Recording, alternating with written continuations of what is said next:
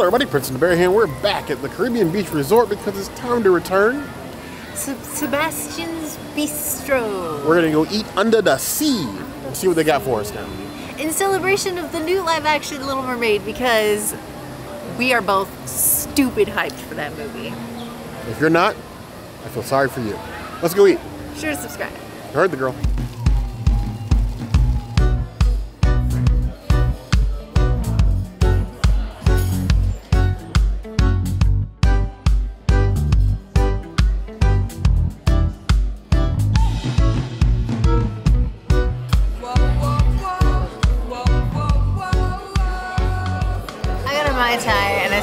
Smaller every single time we come here.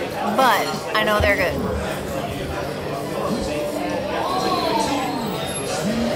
Exactly what you would expect from a Caribbean Mai Tai.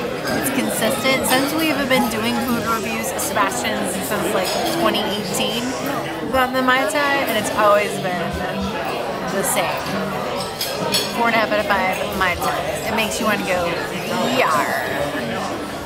Have our princess of the Mai Tais. Princess the Mai Tai. Or I could call them uh, Juicy Gut Rot. She continues to buy these things. We can even try them. My poor stomach.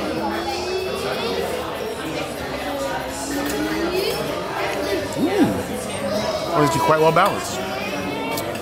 Strong enough, but enough flavor, so um, let me hate myself later. Not bad. Three and a half out of five claws.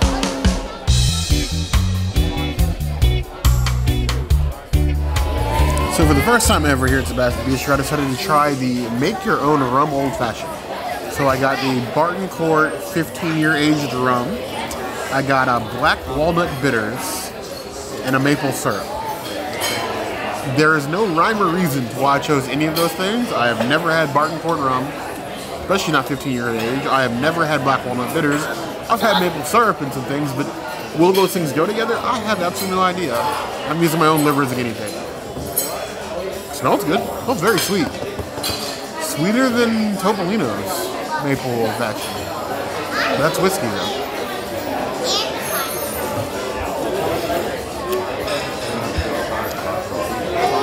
Oh, I think you liked it. The black walnut is like a bitter, bitter, but like a earthy taste that goes well with the maple, and the rum is nice and smooth. Maybe old fashions are the way. Four out of five points.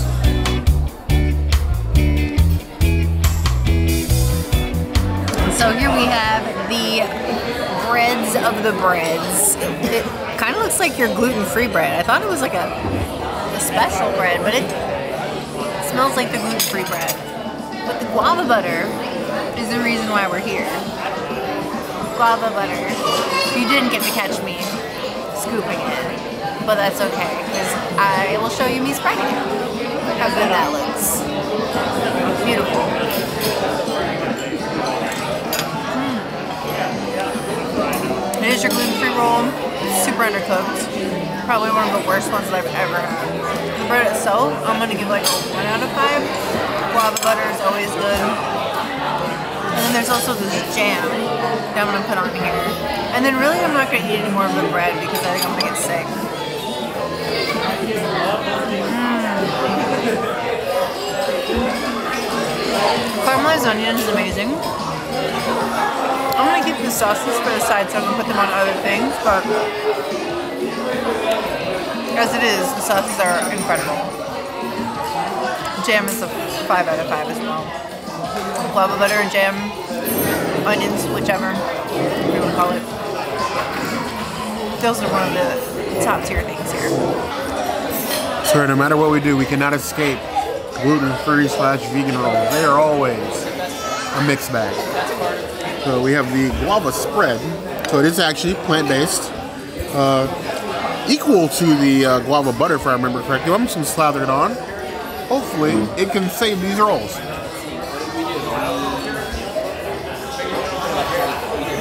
It cannot.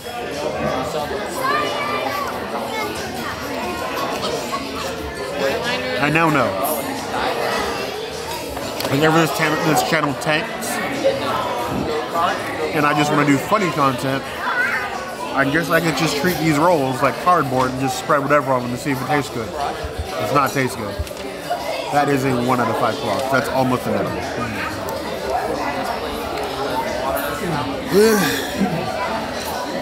One thing about getting food that you don't like is having to get it again, knowing you don't like it. Let's try the onion jam.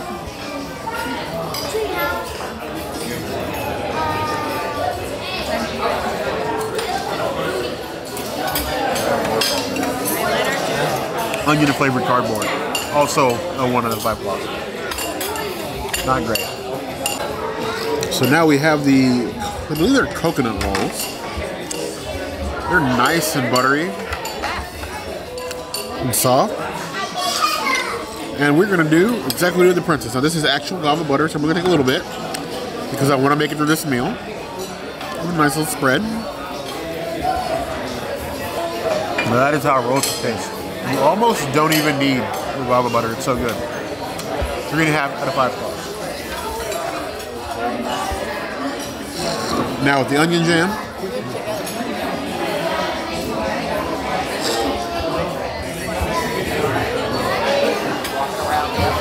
Kind of feel like the onion jam is superior. Four out of five stars. Now, for the community, because we like to try all the things, I'll do both. A little guava butter, a little onion jam, a little roll roll up. Better than some of the parts. Solid four overall out of five points.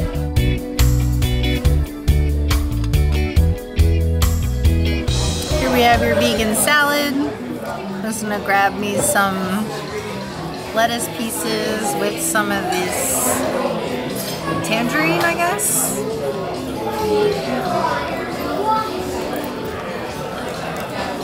There we go. I'm just gonna fork as much of it as I can in this one bite.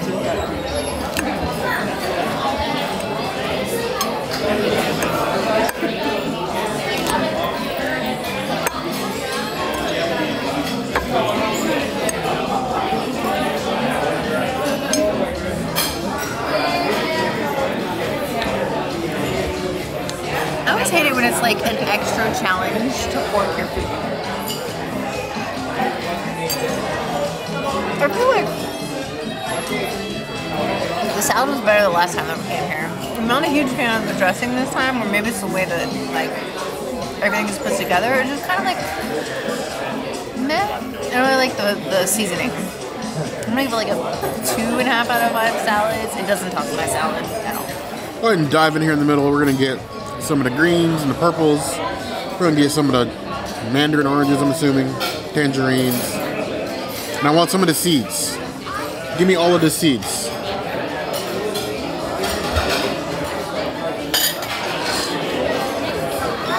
Because you should do, be able to do anything for a plant race, brethren, sisterin, and they and them and them. It should be a decent salad.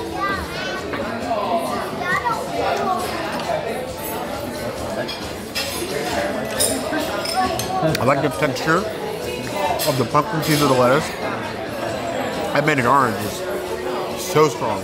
Overpowers everything else. I'd suggest cutting smaller pieces. Take like a whole slice. It's not terrible. I give it three out of five plus.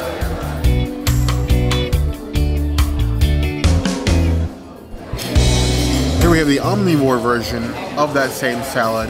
It's got like a sort of like a I think it's like a honey granola on here. So this isn't vegan. It is vegetarian though. Go ahead and dive in here. Get some of the crunchies. Look at this big nut pile right here.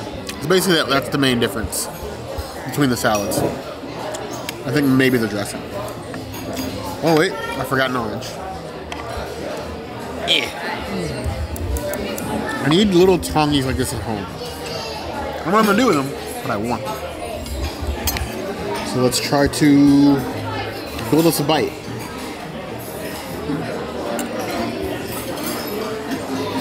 It's like prom, but more awkward. My date didn't stand me up this time. Sort of bundle of seeds, it's very sweet, but then sort of balances out that sort of tartness of the orange. This one I like a lot better than the plant-based version. It's uh, very tempting to eat all of that and then not have room for anything else. That is not the strategy we go here for. Is all you care to enjoy family style. Save room for the good stuff, the better stuff. Five.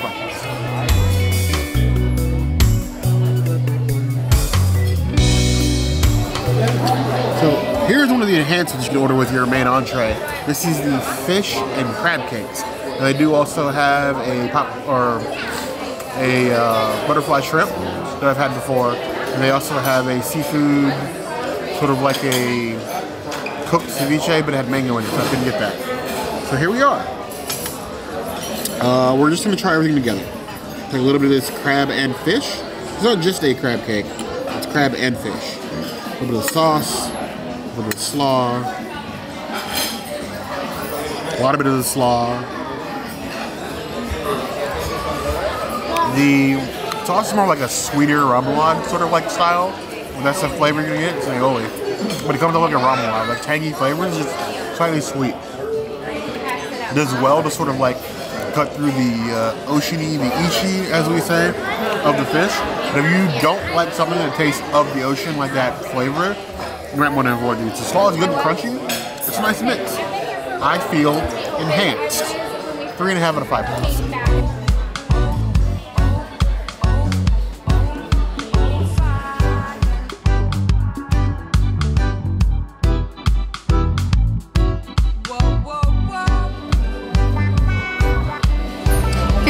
The Beyond Bratwurst. Now this is basically what we had at Woody's the other day, but without like the good barbecue sauce. So it's just gonna be, I guess, steamed because it doesn't look very, it doesn't look fried or anything like that. It looks very plain and sad-ish.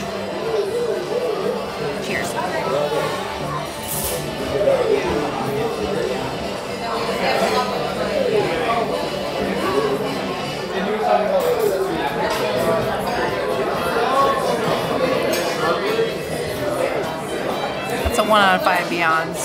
That is one of the worst Beyond sausages I've ever had in my life.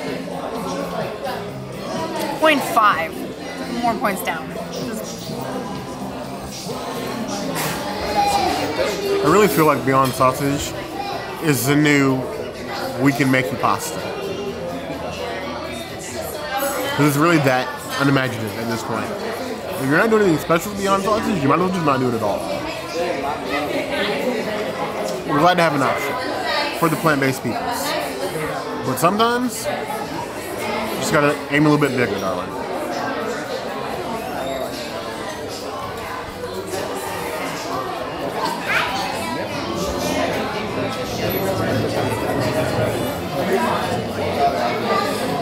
It tastes both freezer burned and undercooked.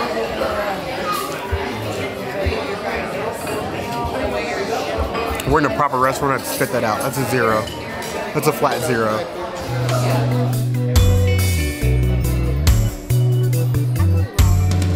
Try and redeem myself with this impossible sausage. It used to be on a, a stick before.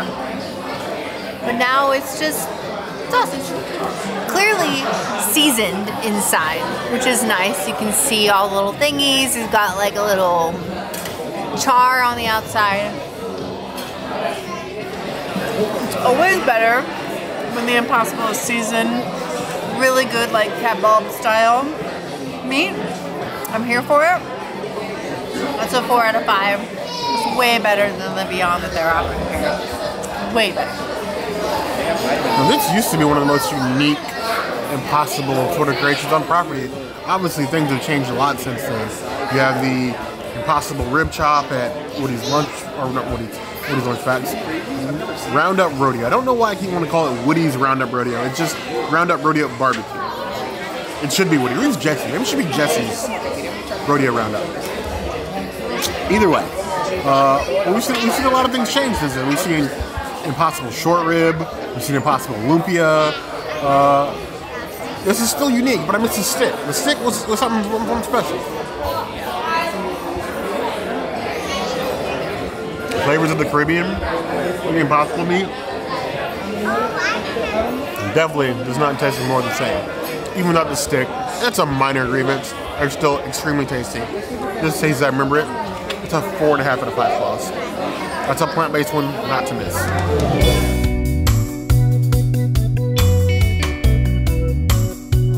Next we have this tofu stick that is like, thank you, one fourth of the size of the tofu that we had the last time we came here. Hopefully it's as seasoned, well seasoned as it was the last time we came because like this is one of my favorite things the last time.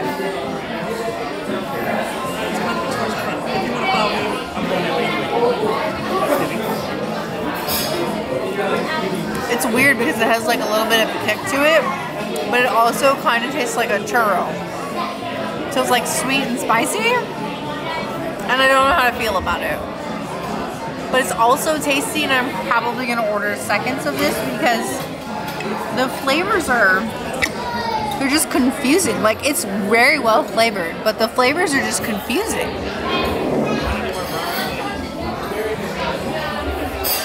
Yeah. It's like, is it an entree? Is it dessert? The world will never know. It's just bomb. That's what it is. Four and a half out of five tofus. I would like to eat tofu like this more in my life. I really thought this was like a tofu fish stick. It does not smell like fish. The breading looks very well seasoned. Tofu looks well cooked. Is it wrong? I'm kind of afraid of this one. I try a lot of plant-based food in this channel. Probably more than most omnivores. It's not often I'm scared of something.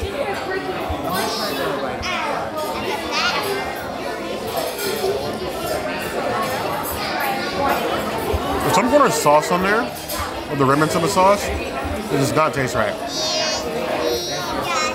Maybe it's the sauce and the carrots, but something about that tastes unexpected. It's definitely like a mashup of like the savory, salty, and sweet, and in this case, it just doesn't work. I like the consistency of the tofu and the breading. I just feel like maybe the flavors got mixed up with something else on the plate. As it is, though, I'm giving it a three out of five.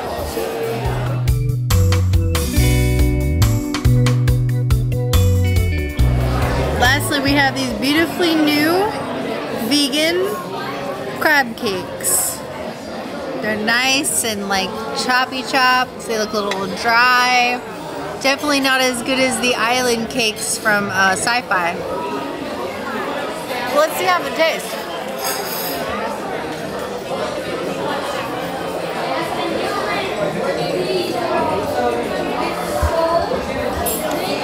So it's jackfruit based. It's not hearts of palm based. And it's not like um, blackened seasoned, so it's not as ishi. It's very like, it doesn't taste like fish at all. It's probably one of the least like fishy tasting vegan options that I've ever had at Disney. It's more just like a sweet cake and nothing like a crab cake. If I'm gonna call it, is it a crab cake? I'm gonna say hell no. On crab cake standards, it's a one out of five. But on like taste bud standards, it's like a three and a half out of five out of five. Three and a half out of five out of five? What the hell am I saying? It's okay. It's not something I'm gonna run here for, but it's okay. I'm kind of anxious to see how Bear feels about this crab cake, considering that he is a bear and a fish connoisseur. So the plant-based slash vegan fish game is still like one of those like ever-evolving genres. It's still trying to find its footing. Sometimes it steps in mud, sometimes it steps in a bed of flowers. Let's see what this one is. Here's the thing. If you had sold this to me as like a tropical, a tropical jackfruit Caribbean patty, like a meat patty, if you're getting Caribbean, or a meat pie, completely sold. It'd be like a four out of five. As a crab patty, crab list patty. Nah, fam, that's not it. And no hints of like being anything close to the sea. Now, is it taste good? Yes. Do I think that you should immediately book Sebastian Beach to come in just for that because it's the newest thing on the menu? no. I still think Sebastian's Bistro is underrated and that people should definitely come here, especially if you're vegan, plant-based vegetarian, because the spread is immaculate. I'm not saying immaculate, better than most, but it definitely still needs some work. I'm giving the patty overall a two and a half out of five claws. I'm gonna split the difference, but it could have been a contender.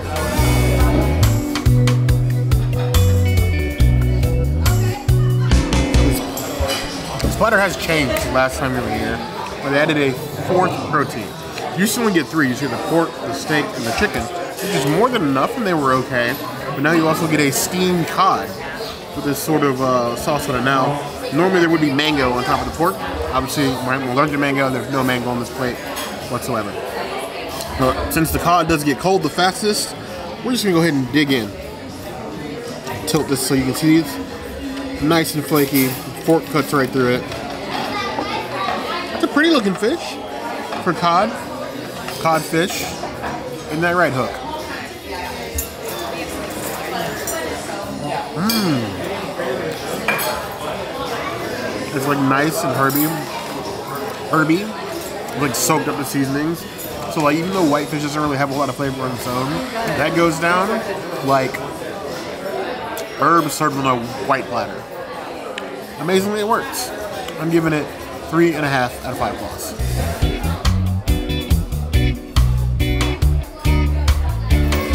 So here we have the flank steak. It is cooked to your temperature. Uh, I got obviously the, the chef regular, the medium rare. I'm not, as always, I'm not a huge steak person, but I'm always interested in trying something. Maybe one day one of these things will actually turn me into a steak person. Probably not. Go ahead and dive in here. I could eat the whole thing in one bite, but I don't want to do that. I am a bear of culture. Not really, but I like to say that I am. Perfectly cooked. Looks nice and juicy. Some grill marks on there. Mmm. Okay. The meat's nice and tender. Seasoned. And it also soaks up the bed of like the cucumber relish it's sitting on top of. Leaves a unique like cucumber flavor with the meat. It actually works kind of well. Steak flavor can be like an overly sa overly savory for me sometimes. It's just like too much. This is a nice balance. Is it gonna turn me into a steak connoisseur? No. But it's not bad. Three and a half out of five claws.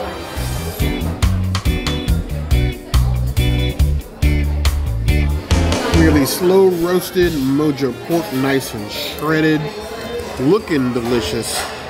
This thing would literally tear with a fork. It's that slow roasted. Now, like I said, normally does come topped with mango. I and it has the mango. Gonna have the plain mojo pork by itself. Let's see uh, if it's really got the mojo. Mm. Mojo's unique blend of like lime citrus with the savoriness of pork is a perfect balance. It's juicy, it's flavorful. The cook is perfect. You're getting like all the flavors of both the seasoning and then the pork on its own. And I'm here for that. I'm giving that a solid four out of five claws. Who needs mango?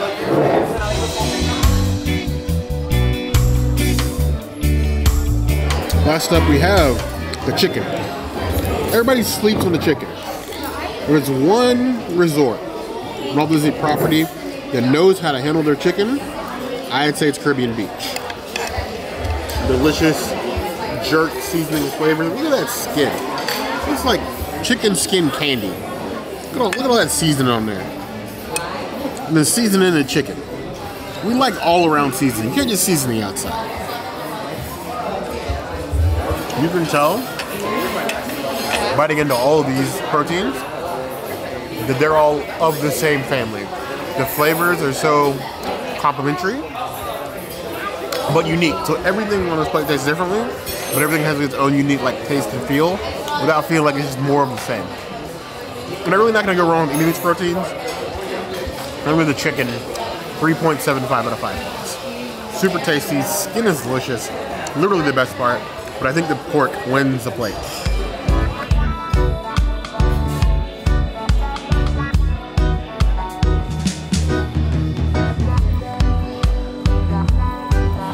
This is a serving spoon, but I'm just going to use it to eat these red beans and cilantro rice because it sounds like a good life choice. Cheers to eating improperly.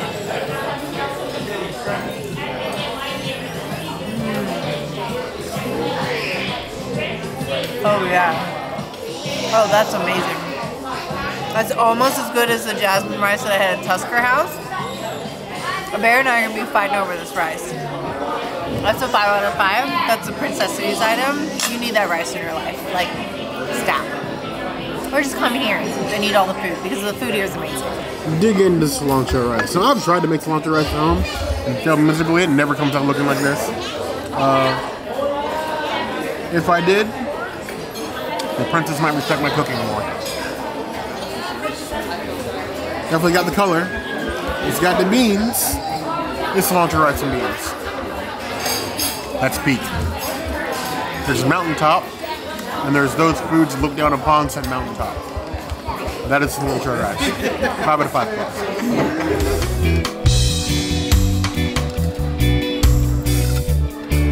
Next stop on our side tour is this beautiful vegetable cur I think it's a curry.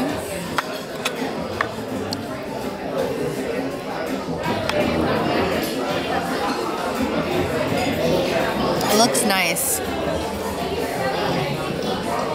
It's like a tomato, um, pepper, like red pepper based sauce. Like the red pepper is pretty prominent.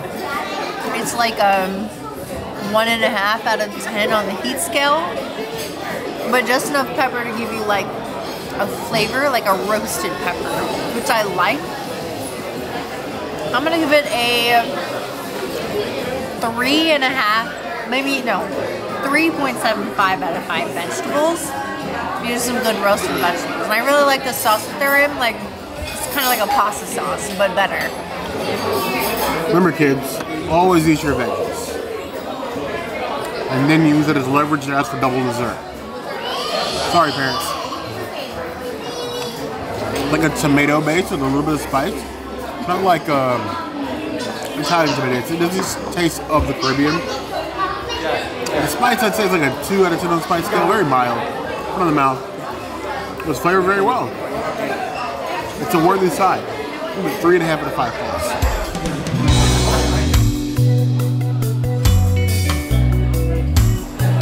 Lastly, we have some delicious broccolini. I'm just gonna eat a little bit of this toppings. Toppings, a bag. Toppings, toppings, toppings, a broccolini. Mmm. Oh yeah, charred perfectly.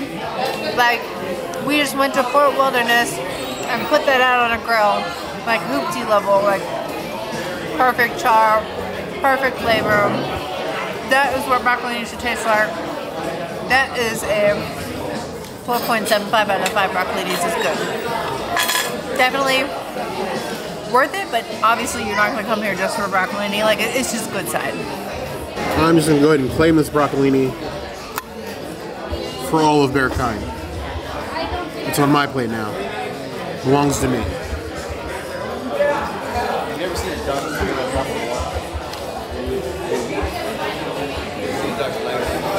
Nice and grill level smoky. Tender but still has the crunch to it. I've had some bad examples of broccolini from time to time. This is not one of those. Three and a half out of five plus.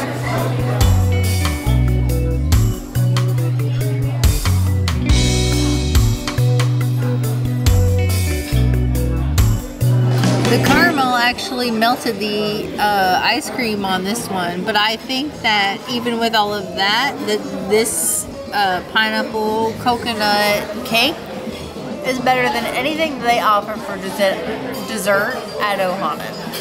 Let's see.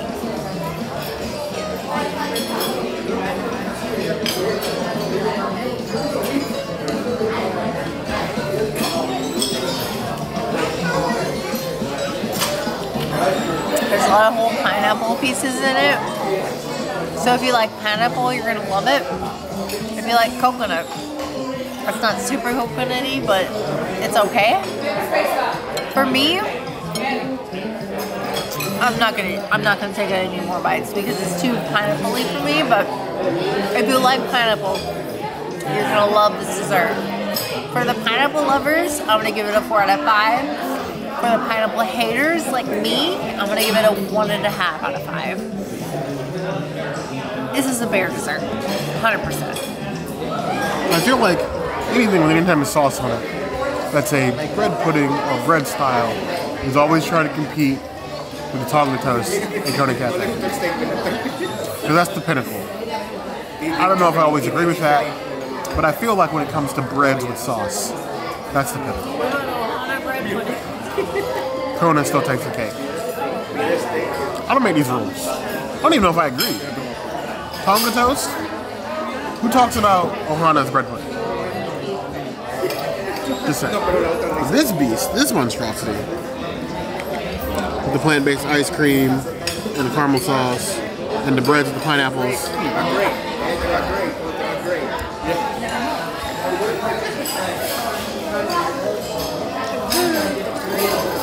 That is an assault. An assault. Of pineapple. Like, no, like big, thick pieces of coconut, like as thick as hash browns. Cool. You must love coconut in this dish. I am not on board. Two out of five points.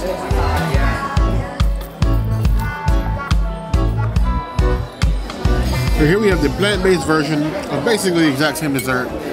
The only difference is basically ice cream. So non-plant. Non-plant-based.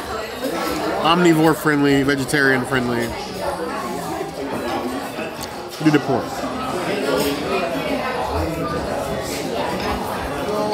Conservative pork. Probably the only conservative part of my life. Either way, a little corner of the cream, get a lot of bit of the bread, and we're gonna pray for me. I just can't. Coconut's as thick as sliced carrot. Too much coconut. Dessert lacks balance. It's like the Hulk of desserts, but after he smashed up your entire town. Two out of five points. Equal rating.